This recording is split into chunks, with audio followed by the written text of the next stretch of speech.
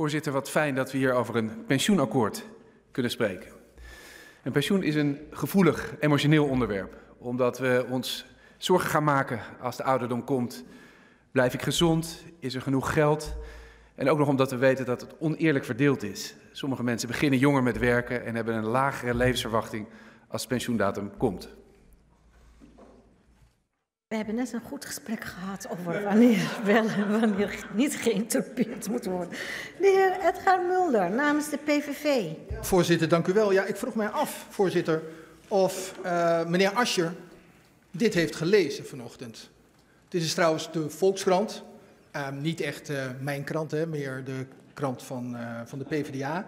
En er staat, voorzitter, de inkt van het pensioenakkoord is nog vers, maar de gehoopte verhoging van de pensioenuitkeringen loopt nu al gevaar. En in de rest van het artikel blijkt heel duidelijk dat door de actie van de heer Draghi in combinatie met het uh, bindende advies uh, van de heer Dijsselbloem er een verhoogde kans op korting is. Niet minder kans op kortingen, niet blij zijn met een akkoord, maar een verhoogde kans op korting. Meneer Ascher heeft zich laten piepelen. De vraag is waarom. De heer Ascher. Uh, ik kom later in mijn betoog kom ik bij het nieuwe contract en dus ook de rente. Dus ik, moet even, ik laat even aan de voorzitter over wat fijn is. U, staat te trappelen, dus ik kan u nu antwoord geven. Wat is handig? Misschien goed om daar gewoon uh, een antwoord op okay. te geven. Nou, bij, het, bij ons huidige pensioenstelsel zie je dat de lage rente uh, de rendementen onder druk zet. En dat dat een probleem is voor de pensioenfondsen, waardoor er ook gekort dreigt te worden onder de dekkingsgraad van 104. Uh, het nieuwe contract moet ervoor zorgen dat indexatie weer in zicht komt. Het contract heeft voordelen, het heeft ook nadelen. Het zal meer meebewegen met de rendementen en daarmee een reëlere uh, weergave geven van hoe een fonds ervoor staat. Maar het advies van de commissie Dijsselbloem is nog gericht op het oude stelsel. En wij hebben net als u uh, het doel voor ogen. En misschien dat we daar zelfs wel samen in optrekken. We willen graag dat mensen weer indexering krijgen, dat er niet onnodig gekort wordt, dat het weer beter wordt. En dat betekent dat we het kabinet zullen houden aan de afspraken zoals ze in de brief zijn opgenomen met werkgevers en werknemers. Solidair tussen jong en oud, solidair tussen rijk en arm, een faire compensatie. Maar ook een stuurgroep die erover moet gaan waken dat dat nieuwe stelsel niet gebukt gaat onder problemen die onnodig zijn. En dat kan ook betekenen dat er een nieuw advies moet komen over de rekenrente. Het is wel zo, en ik hoop dat u dat ook weer met mij eens bent, dat die rente wel een reëel probleem is, dat dat aan de hand is. De rente is laag, dat is niet verzonnen door iemand, dat is een probleem. Maar laten we het kabinet en de polder de kans geven daar een goede oplossing voor te geven. En ik ben ervan overtuigd dat met het nieuwe contract in ieder geval onnodige kortingen kunnen worden voorkomen die onder het huidige stelsel zeker zijn. De heer Edgar Mulder. Ja, voorzitter. Um, wat de heer Ascher ook zegt, feit is en blijft dat de redenen waarom uh, de leden van de FNV hebben voorgestemd uh, volledig veranderd zijn. Want er is geen sprake meer van indexatie. Er is alleen sprake meer van hogere of van kortingen. En u had dat kunnen weten, meneer Ascher, samen met uw PvdA-fractie, want u heeft vorige week voor een akkoord gestemd dat nota bene van de voorzitter van VNO-NCW als cijfer een 8,5 krijgt. U doet het heel goed voor de werkgevers. En nogmaals mijn vraag, waarom? De heer Asser. Voorzitter, het lijkt net alsof de heer Mulder mijn, mijn eerdere antwoord niet heeft gehoord. Ik heb juist aangegeven dat ik het heel erg belangrijk vind dat we samen, wat mij betreft ook met u, ernaar streven dat dat pensioencontract, dat nieuwe pensioencontract, onnodige kortingen voorkomt en indexatie meer in zicht brengt. Dat is ook de afspraak die het kabinet heeft gemaakt met de polder. Als u zegt, ja, dat moet allemaal nog maar blijken, dat moet goed worden uitgewerkt, ben ik het helemaal met u eens. Daarom komt er ook een stuurgroep en daarom hebben wij ook gezegd, we gaan het daarop toetsen. We hebben vorige week niet ergens over gestemd. We gaan daarover stemmen op het moment dat het hier in de Kamer komt. Die taak ligt bij het kabinet. Werkgevers en werknemers hebben daarmee ingestemd. 75% van de leden van de FNV die hebben gestemd, hebben dat gesteund. Die hebben daar verschillende redenen voor. Maar ook de mensen die daartegen hebben gestemd, die hebben er belang bij dat we daar goed naar gaan kijken. Dus ja, u kunt zeggen, het is heel erg voor de werkgevers. Ik zou het pleidooi willen houden dat de werknemers, de vakbeweging, ten opzichte van wat er in november lag, toen het kabinet en de coalitie bittere verwijten hadden aan de vakbeweging en aan de oppositie, toch behoorlijk wat heeft binnengehaald. Want ga maar na, destijds was er geen geld om de AOW-leeftijd langzaam omhoog te laten gaan. Was er geen bescherming voor zelfstandigen opgenomen in het akkoord. Was er nog niet uh, zo duidelijke zicht op een nieuw contract waar zo strak de afspraken in stonden met de stuurgroep zoals nu kabinet heeft daar uiteindelijk toch geleverd. Dat is een overwinning van de vakbeweging. En de werkgevers vonden het in november al best. Die waren toen al aan het klagen over de werknemers. U had, als u dat zo belangrijk vindt, de vakbonden explicieter kunnen steunen. Ja, voorzitter. Ja, Heel veel woorden, maar onder de streep blijft er maar één ding over. Nederlanders moeten doorwerken tot hun zeventigste en de kans op kortingen is toegenomen door uw steun. Bedankt meneer Ascher. Bedankt. Voorzitter, het is altijd grappig. Als je een kort antwoord geeft, dan wordt er gezegd: dit is niet een heel antwoord. Als je vervolgens uitgebreid ingaat op de vraag, omdat ik het een hele belangrijke vraag vind, die niet alleen bij de heer Mulder leeft, maar bij heel veel mensen, dan wordt er gezegd veel woorden. Kan op twee manieren. Als u beweert dat het onzeker blijft vanwege de lage rente hoe het met onze pensioenen gaat, dat klopt. Dat is de huidige situatie. In de nieuwe situatie moet dat beter worden. Als u beweert dat iedereen tot zijn zeventigste moet doorwerken, dan spreekt u niet de waarheid. Dat weet u ook. Het mooie van dit akkoord is juist dat veel mensen korter moeten doorwerken dan onder de oude regeling. Ik hoef er echt niet aan te herinneren dat de PVV hun belangrijkste verkiezingsbelofte destijds, die ene keer dat u in de buurt kwam van verantwoordelijkheid, meteen heeft ingeslikt. U gaat ervan gapen. Ik snap dat het vervelend is. Maar laten we het positief houden. Laten we eerlijk zijn over pensioenen. Die staan onder druk. Dat zorgt voor heel veel onzekerheid. Dit akkoord brengt voor heel veel mensen een eerdere AOW in beeld. Geeft een nieuw contract waar inderdaad nog onzekerheden in zitten. Ik ga samen met u opletten hoe dat wordt uitgewerkt. Ik ga samen met u afdwingen dat dat een fatsoenlijke regeling is. Maar het is goed nieuws voor de mensen waarbij een onnodige korting niet doorgaat. De heer Van Kent. Ja, dank voorzitter. Nu we toch eh, meteen over de rente eh, zijn begonnen. Een inf- informatieve vraag, maar ook eerst een opmerking. Want ik hoor de heer Ascher zeggen dat die rente niet bedacht is. Nou, de, de heer Omtzigt eh, weet er alles van. Een deel van die rente is natuurlijk wel bedacht. Namelijk door het ECB-beleid wordt die rente bewust laag gehouden. En is daarmee kunstmatig laag en daarmee een rente die niet weergeeft wat er precies op de markt eh, gebeurt. Mijn informatieve vraag is dat ik lees dat zowel in het SER-advies als in de appreciatie van de minister, ook naar aanleiding van de commissie Dijsselbloem, dat daar de afspraak is gemaakt dat aan die absolute risicovrije rente zou worden vastgehouden voor alle pensioencontracten. Heeft de Partij van de Arbeid ook op dat punt een overeenstemming bereikt en staat de Partij van de Arbeid ook achter die afspraak? Voorzitter, eerst op het eerste punt. Ehm, als de heer Van Kent beweert dat er allerlei actoren invloed hebben op de hoogte van die rente, heeft hij volkomen gelijk. In het bijzonder de centrale bank. Eh, dat is evident. Het heeft te maken met het beleid van die onafhankelijke centrale bank. Vervolgens is het niet zo dat we hier kunnen zeggen de rente is 5%. Hè, want de rente is ook een weergave van wat je, geld, wat je krijgt als je geld uitleent. Of wat je moet betalen om geld te lenen. En dan zijn we het er denk ik hierover eens dat die rente relatief laag staat. Eh, Als je kijkt naar de huizenmarkt, dan zie je dat. Dat is gewoon een feit. Eh, vervolgens kun je nog allerlei keuzes maken in hoe je, eh, wat voor rekenrente je gebruikt, hoe je eh, de risico's daaromheen verdeelt, eh, wat voor inschattingen je maakt, hoe je kijkt tegenover het beleid van de centrale bank. Dat is allemaal waar. Hoe, wat is nou de positie van de Partij van de Arbeid? Wij, en dat zal ik straks ook toelichten, we zijn op vier punten heel blij met de concessies en de beweging die het kabinet gemaakt heeft. Ook de reden waarom de vakbeweging heeft inges- eh, ingestemd. Ja, mijn vraag zien- specifiek over die rekenrente. Hè? Of u dat... Ik kom daar ook op. Het was een informatieve vraag. Al uw vragen zijn toch altijd informatief? Ja, zuiver en louter informatief. Nou, ik probeer dat ook op die manier te beantwoorden. Dat betekent dat wij eh, benieuwd zijn naar de voorstellen die uiteindelijk komen van het kabinet in samenspraak van de polder. Dat we ons nergens op hebben vastgelegd. Dat ik wel van mening ben dat je rekening moet houden met de rente zoals die is. Dat is een feit. Maar dat ik alle mogelijkheid zie voor die stuurgroep om te zijn tijd een nieuw advies te vragen over de te gebruiken rekenrente. Het advies van de commissie Dijsselbloem gaat, staat ook in de brief, over het huidige stelsel. Komt er een nieuw stelsel, dan moet er opnieuw gekeken worden. En het kabinet en sociale partners hebben daar een aantal doelen over afgesproken. Daar zal ik ze aan houden. En wellicht samen met u. De heer Van Kent.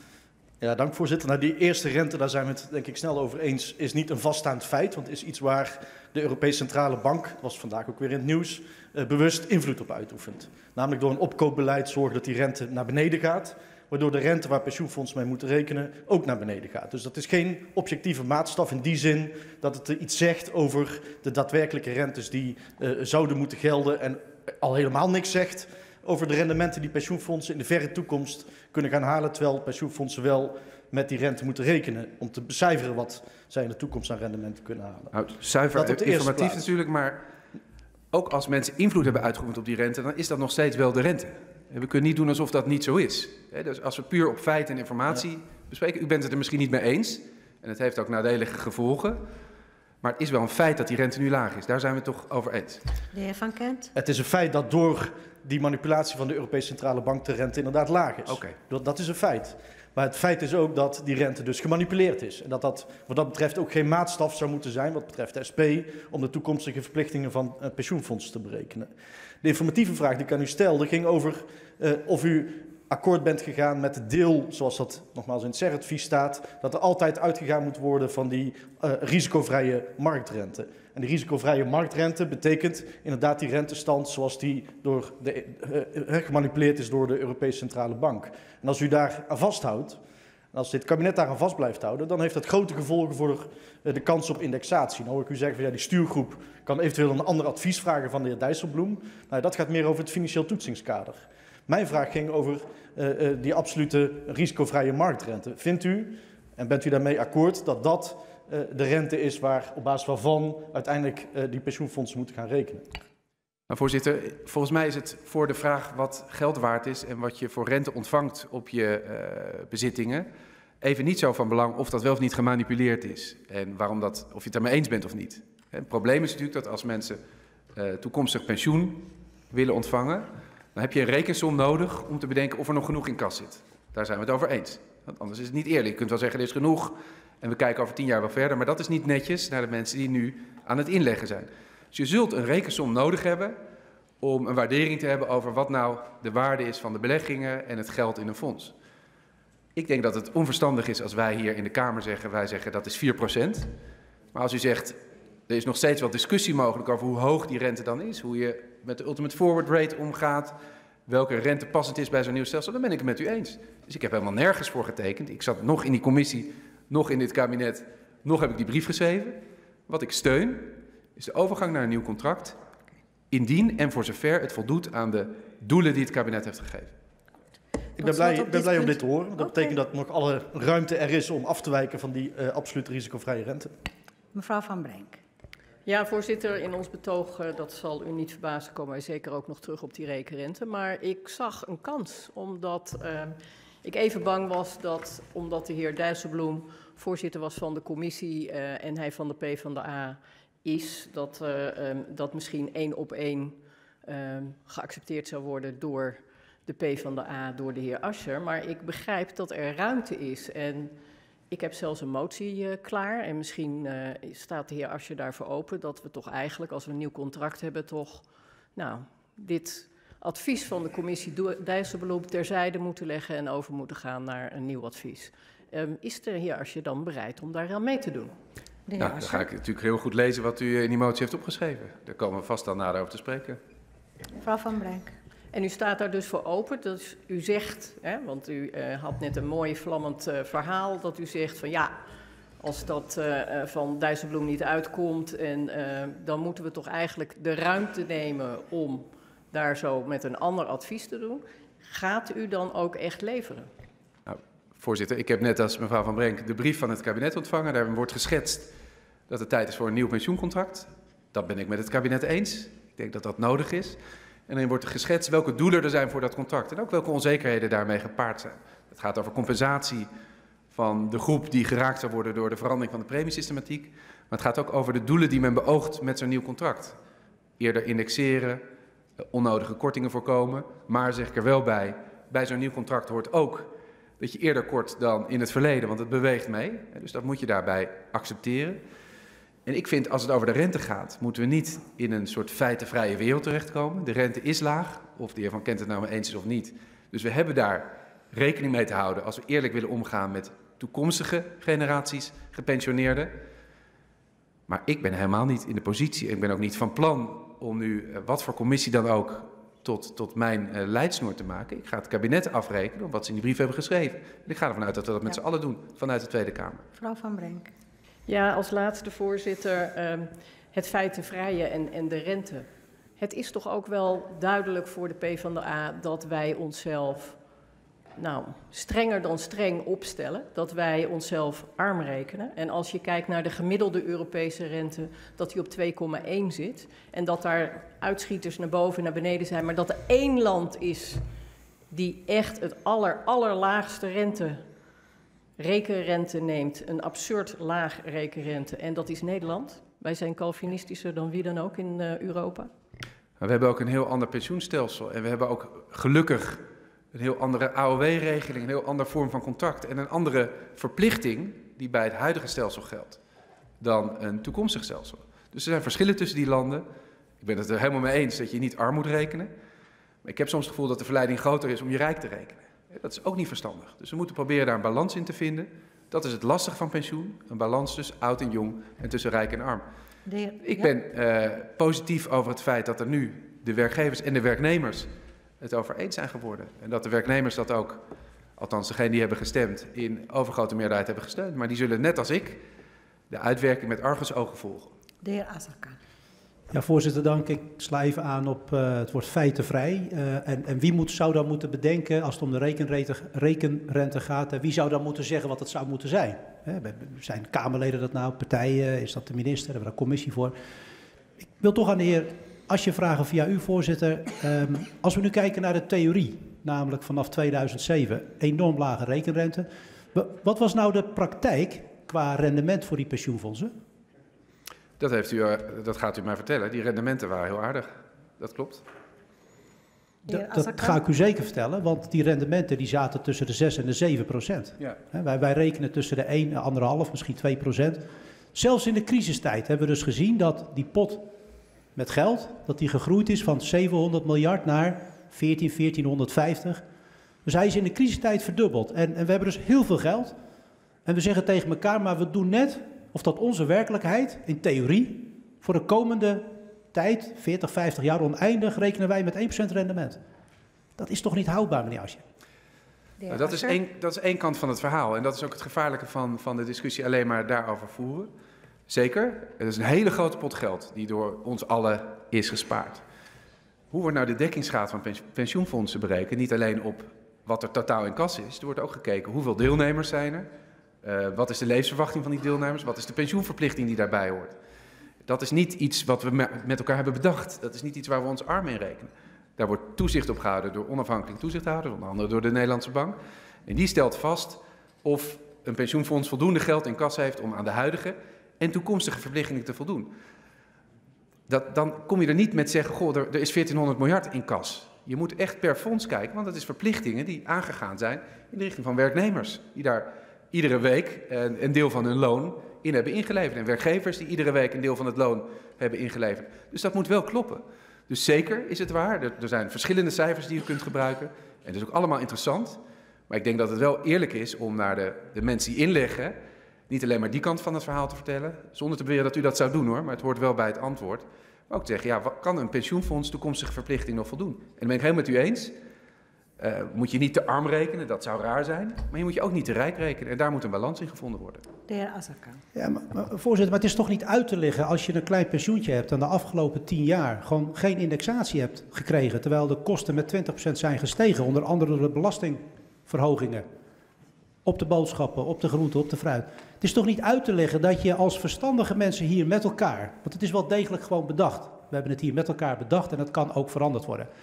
Dus je zegt, we rekenen met 1% rendement. En de afgelopen 10 jaar is dat rendement tussen de 6,5 en de 7% geweest.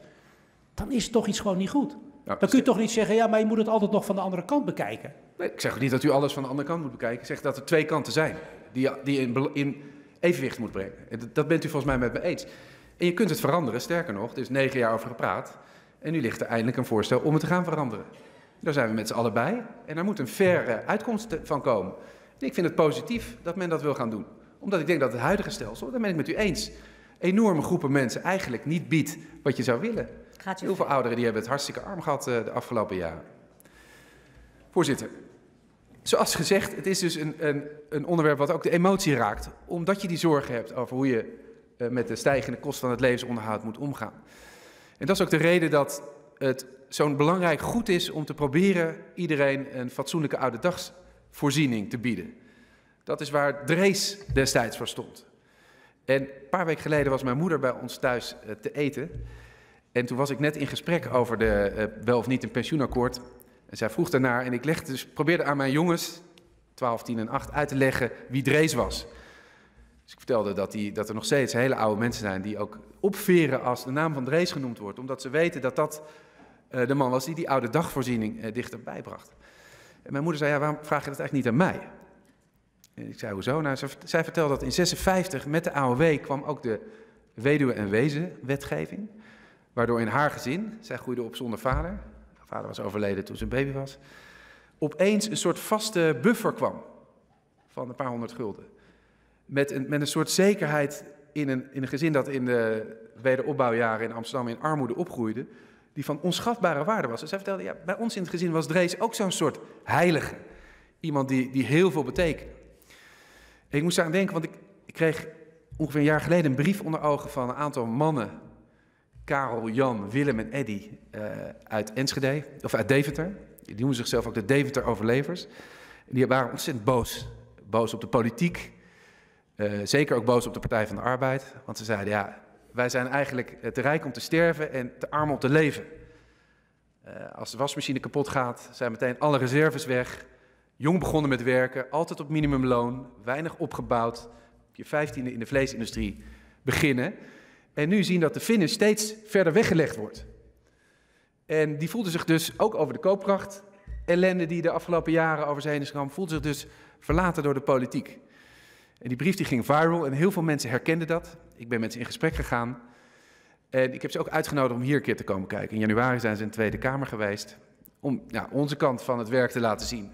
Nou ja, het is best wel lastig om die dingen dan ook te veranderen en te verbeteren.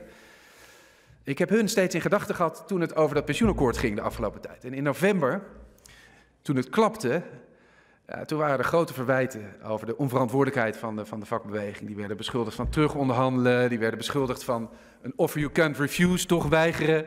De premier die had de, de leden zeker overtuigd. Maar ik vond dat de vakbeweging groot gelijk had. En ik denk dat we nu ook wel moeten vaststellen dat ze dat hebben gekregen. Want als je ziet wat er sindsdien veranderd is, dan is dat een enorm succes. Wij vonden als Partij van de Arbeid vier dingen belangrijk. Je AOW-leeftijd langzamer omhoog. Zorgen dat mensen eerder kunnen stoppen met werken die dat echt nodig hebben. Betere bescherming voor mensen die flexibel of zelfstandig werken. En een contract waarbij, we hebben de discussie net gehad, onnodige kortingen kunnen worden voorkomen. En het is gebeurd. Werd toen gezegd werd, dat is allemaal te duur, is voor een volgend kabinet. Is het nu als je 35 bent, niet werken tot je 71ste, maar tot je 69ste. Is het nu als je 63 bent, niet 67, drie maanden, maar 66, zeven maanden. Een aanzienlijk verschil. En er is een regeling gekomen om drie jaar eerder met vroeg pensioen te gaan voor wie dat nodig heeft. En de werkgevers hebben beloofd dat te gaan betalen. En de RVU-boete is voor die drie jaar geschrapt tot 19.000 euro. Dat is fantastisch. En daar zit een potje bij van 800 miljoen. Ik zeg er wel bij, er is ook veel onzekerheid over. Gaan de werkgevers dat wel doen? Gaat het ook snel genoeg werken? Wat betekent het voor een politieman, een verloskundige, de mensen hier echt naar snakken? Daar zullen we het kabinet aan moeten houden. Maar het is een enorme doorbraak dat het er eindelijk na al die jaren gesoebat van is gekomen. Drie jaar eerder stoppen met werken voor mensen die dat zo hard nodig hebben. En ik ben ook blij dat er afgesproken is dat mensen die nu kwetsbaar zijn, want je ziet dat zekerheid een luxegoed geworden is, eerder pensioen gaan opbouwen, de uitzendkrachten, um, dat de zelfstandigen makkelijker kunnen gaan sparen voor hun oude dag en dat er eindelijk een arbeidsongeschiktheidsverzekering komt voor zelfstandigen. Een informatieve vraag van de heer Van Kent. De heer Van Kent. Nee, voorzitter, eh, dit keer niet. Nee. Uh, ik hoorde de heer Ascher hier van alles uh, zeggen, namelijk mensen kunnen drie jaar eerder stoppen met werken. Volgens mij moeten we wel eerlijk zijn en ook zeggen dat mensen niet zomaar drie jaar eerder kunnen stoppen met werken. En dat die mogelijkheid die geboden wordt in het akkoord na vijf jaar stopt. Dus die geldt maar voor vijf jaar. En dat om die drie jaar eerder te kunnen stoppen met werken, je werkgever moet vinden die jou drie keer 12.000 euro of 19.000 euro wil betalen. En je daar bovenop nog zelf je pensioen naar uh, voren moet halen. En mijn vraag aan de heer Ascher is, uh, diegene die, u noemde net een voorbeeld, degene die in de slachterij werkt.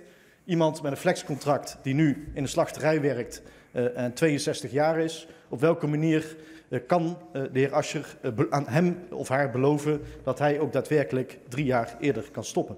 De heer Ascher. Voorzitter, ik vind het een goede werkafspraak dat we de discussie eerlijk voeren. Ik heb een filmpje gezien waar de heer Van Kent in optreedt, waarin hij beweert dat door dit akkoord mensen later met de AOW gingen. Daarna verdween het van de site, kwam er een andere tekst. Dus dat is voortschrijdend inzicht, hartstikke goed. Hierbij geldt dat het kabinet heeft opgeschreven dat mensen drie jaar eerder kunnen gaan stoppen. En dat ik het van belang vind, en misschien kunnen we daar wel samen in optrekken, om het kabinet eraan te gaan houden. Snel een regeling te maken, te zorgen dat het geld ervoor gebruikt kan worden, te zorgen dat niet alleen de werkgevers die daar al toe bereid zijn, maar ook andere werkgevers hierop gaan leveren. Dat mensen ook als individu aanspraak kunnen gaan maken op die mogelijkheid, zodat mensen die zo jong begonnen zijn en dat echt nodig hebben ook eerder kunnen werken. Die uitwerking ligt er nu nog niet, maar is van het grootste belang. De heer Van Kent. Ja, ik snap dat de heer Ascher het nodig heeft om naar uh, dat filmpje te verwijzen. Ik ga daar nog graag een keer uh, verder met hem over in gesprek. Maar mijn vraag was, diegene in die vleessector met het flexcontract, die uh, bijvoorbeeld al 45 jaar gewerkt heeft. Die werkgever gaat natuurlijk nooit, want die concurrentie daar is op dubbeltjes. Dat weet de heer Ascher ook, hè, tussen die werkgevers op, op de arbeidskosten. Die werkgever gaat natuurlijk niet uit zichzelf zeggen van nou, we gaan wel even drie keer 19.000 euro, dus 57.000 euro voor u op tafel leggen, eh, zodat u eerder kan stoppen met werken. Daar zijn geen afspraken over gemaakt, daar zijn geen garanties. Maar toch zegt u hier, mensen kunnen drie jaar eerder stoppen met werken. En daarbij geldt die vrijstelling van die boete eh, geldt alleen maar voor de komende vijf jaren. Dus degene die eh, nu 51 is en in diezelfde slachterij werkt, heeft er helemaal niets aan. Dus daarom uh, greep ik even in, omdat ik denk dat we dit debat inderdaad eerlijk moeten voeren. En de belofte dat mensen allemaal drie jaar eerder kunnen stoppen echt bezijden de waarheid is. Ik, je moet ook zeker niet beloven dat iedereen drie jaar eerder kan stoppen. Dan hadden we een heel ander uh, verhaal gehad. Maar de belofte van het kabinet en de sociale partners is dat mensen die dat nodig hebben, gebruik kunnen gaan maken als er een afspraak komt met de werkgever van die vroegpensioenregeling. Maar laten we kijken, het glas is altijd of half leeg of half vol. U presenteert het nu ietsje leger. Ik presenteer het ietsje voller. Het is een doorbraak dat er eindelijk die vroegpensioenregeling komt. Laten we nou samen zorgen dat we hem zo vormgeven, dat we het kabinet dwingen hem zo vorm te geven. Kom in de creatieve stand om dat mogelijk te maken, dat zoveel mogelijk mensen die dat nodig hebben daar gebruik van kunnen maken. U heeft helemaal gelijk. Hier zitten losse eindjes in. Die zorg deel ik met u. Daar ga ik het kabinet aan houden. Hopelijk met u samen. Ja, de heer Van Kent. Nou, die handschoen uh, uh, neem ik graag aan. Ik bedoel, volgens mij uh, moeten we er in ieder geval voor zorgen dat die regeling niet alleen maar voor de komende vijf jaren beschikbaar is of voor een periode van vijf jaren. Maar als we dit inderdaad als regeling zien en als een oplossing voor de toekomst zien voor diegene die nu 51 is bijvoorbeeld en in die slachterij werkt, zullen we dan samen het voorstel doen om die regeling niet vijf jaar te laten duren, maar voor een bepaalde tijd te laten duren. Kan ik daar de PvdA dan aan mijn zijde vinden? Wat mij betreft wel.